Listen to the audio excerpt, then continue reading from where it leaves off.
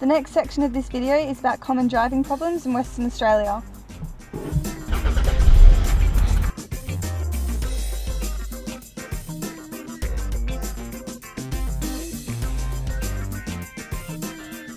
In Western Australia, you cannot drive without a valid driver's licence or learner's permit. Vehicle and licence check. Do you have your driver's licence with you at the moment? Um, I don't have one.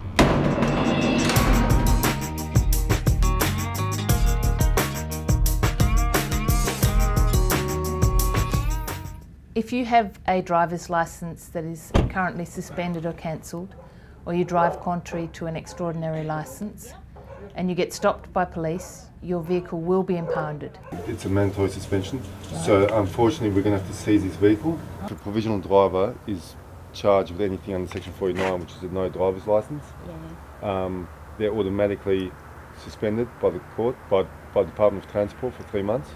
It will be towed away and you will not get it back until after 28 days. That will happen even if it is not your vehicle. In Western Australia, if you drive without a Western Australian driver's licence, your vehicle can be impounded for 28 days. Um, like this vehicle here tonight, if your vehicle is impounded, it will cost you around $900 to get the vehicle out of the impound. When they first started collecting uh, unlicensed drivers, we are getting 50 a month in the Joondalup district alone. For the whole metro area night, probably about 120 a night.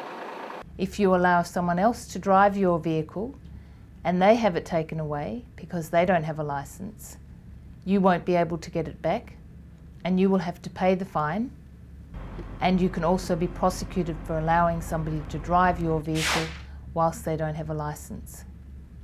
In order to get your licence back, it costs in the vicinity of $900.